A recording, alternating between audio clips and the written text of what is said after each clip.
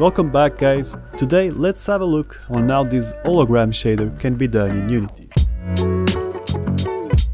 There's a few tricks going on, we have Fresnel, some scanning lines and a vertex glitch going on. It's a bit more elaborate than your usual hologram shader, so let's have a look on how we can achieve this. By the way, I made it all available on my Patreon's page, links below, where you can get access to a huge amount of projects and assets for your games. So let's begin by creating a shader graph with right click. I am on the Universal Render Pipeline and you can choose lit if you want this to be influenced by the lights of your scene or unlit if you don't want this to be influenced by the lights. I'm gonna go with unlit, rename it, double click to open it up and the first node we need, you can search one with spacebar, is the Fresnel effect. It will highlight the curvature of an object in relation to our viewpoint and the most interesting input it has is the power parameter. We can control how much of that curvature is highlighted. So let's create two parameters, one for the color, the Fresnel color, and the other one for the Fresnel power. A color property and then a float property. With the Fresnel power property selected, let's go to the graph inspector because we want to say its default value is 3. 3, 4, 5, you can test couple of values. For the color, let's turn on HDR for the mode so we can control its intensity. Let's make sure the default color is white with alpha at 100. If we want color to influence the Fresnel effect, we multiply these two together. And then we can connect this to the base color, save this asset and if I quickly create a capsule and then a material from the shader we created, and assign that material to the capsule, this is what we get at this point. We can control the Fresnel power and its color. Bluish, something like that. We have two problems. One is completely opaque and the other one, it doesn't look like an hologram yet. So let's take care of the transparency of the opaque. On the graph inspector, if you go to graph settings and change the surface type to transparent, we get this new input on the fragment function.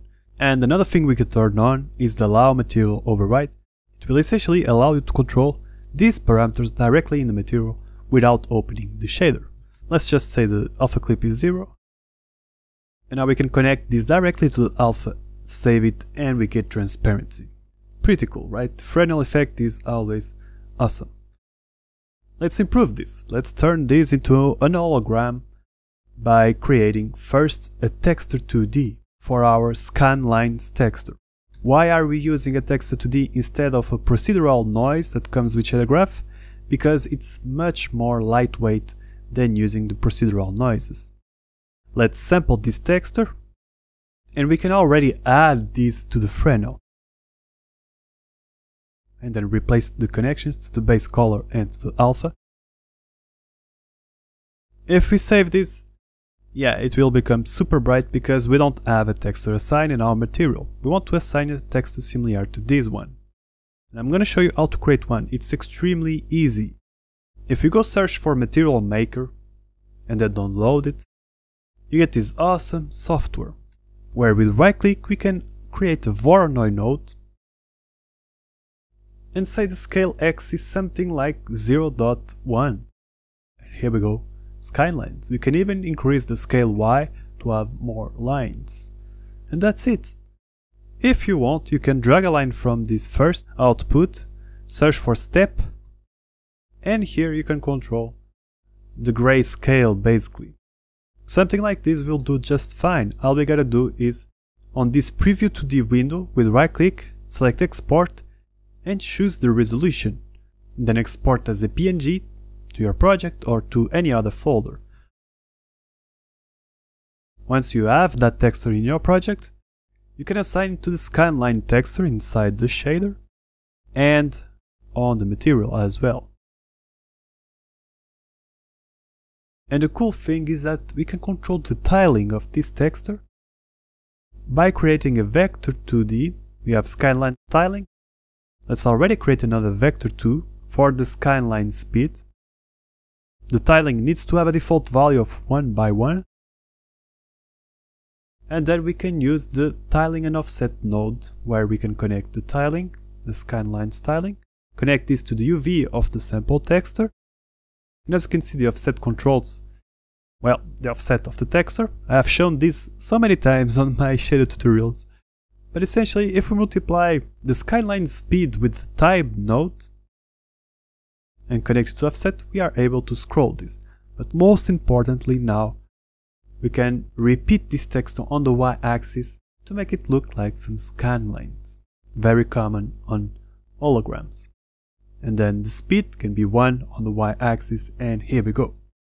Very interesting results we get with just a couple of nodes. Now let me just push this time variable back here because we are going to need it. Create a group for the scanlines and if we want to make this breathe or flicker we can use this time variable, multiply it with a certain value, and then connect it to the sine node. And if we increase this certain value, the sine will breathe in, breathe out faster. And if we multiply this with our scan lines, and then replace this to the add up there, we get a breathing effect that needs a few adjustments. The adjustments are very simple, we just want to use a remap node to say the zeros and ones that come in, you see this is the in value, they are going to go out as 0.7 for example, between 0.7 and 1. We are remapping the values. The effect we get is a breathing effect. You can make it breathe faster or slower. Cool, right? Let me show you another effect, another trick. If we want this to flicker instead, we need a texture 2D. A texture is always lighter than the procedural noises. Sample this flicker texture and strangely enough connect the time to the UV input and it will mess up the UV so much that it will flicker. Let's just add a texture to this flicker texture, a noise one. By the way, if you have Material Maker, a noise texture can be made in seconds by searching for the FBM noise, adjusting the scale, and then with right click on the preview 2D window, export as a PNG, and there you go, you have a noise texture. You can assign it to the flicker texture, and then you can connect this to the remap node. Nothing will happen because we need to assign the flicker texture to the material. Here we go. It may not seem like it's flickering because this remapping value is way too high, the X, let's say it's 0.3, and here we go. We have a flicker effect that looks very nice for an hologram. Cool, right? And before we have a look at that vertex glitch, let's create groups for the breathe effect, and this one is for the flicker. For the vertex glitch, if we go up here, we have this vertex function that happens before the fragment function and we have the position input. If we search for position, we can use this one in geometry section. We can control the coordinate space and we want to say it's in relation to the object itself. And the cool thing is that we can add something to each vertex of our mesh. We can already connect this to the position of the vertex. And if I were to increase one of these values, it would offset all of the vertices. Well, we want to do this randomly to each vertex and we already have most of the things we need with the scan lines and with the flicker effect. We just need to pick this position and multiply it with that.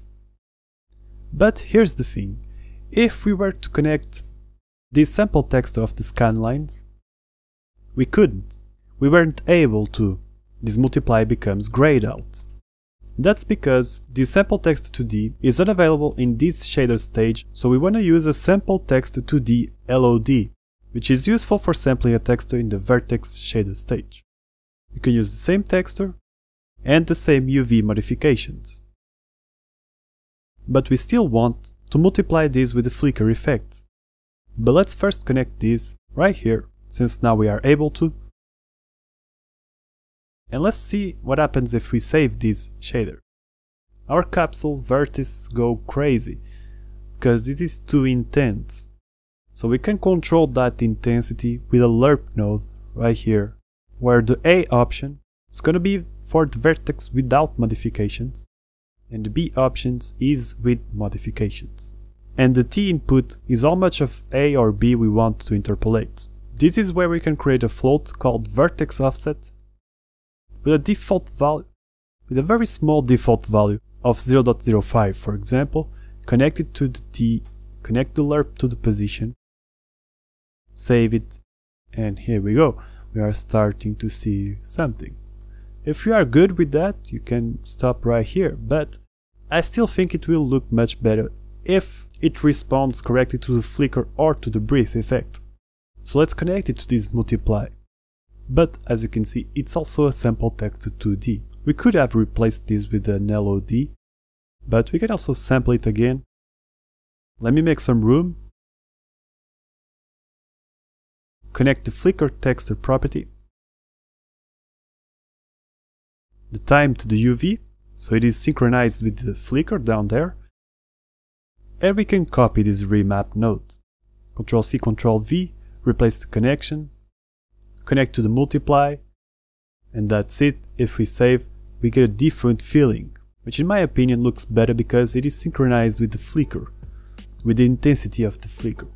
So there you have it, a more refined hologram effect for your games.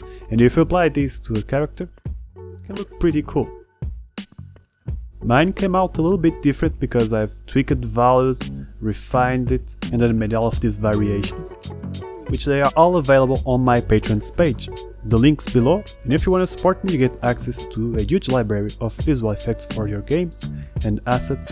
And I want to say thank you to each patron that supported me last month and as usual, a quick shout out to the top tier patrons, which are Alberto Sageras, Alan Alstad, David Molina, Diego Marques, Lua Ama, Frosty40, God Ava, Goobles, Grub Lab, Ivan Jacobi, Ginuga4, Casey Miller, Song Kyo, Leandro Di Risi, Leon Holt, Mark Annan, Matt Moran, Michael Maganinho, Mike Bell, Oitzk, Awesome, Safale, Phil Kozel, Pierre Mario Roux, Pradip Sen, Radioactive Bullfrog, Revenant Games, Sanofer, Sean Aguilar, The Static Samurai, Travis Connolly, Verisota, Whatever Marta, Will Poilian, Vlad, and Min Jae Kim. So thank you all for watching, I hope you have enjoyed and I hope to see you on the next one. Thank you. Bye.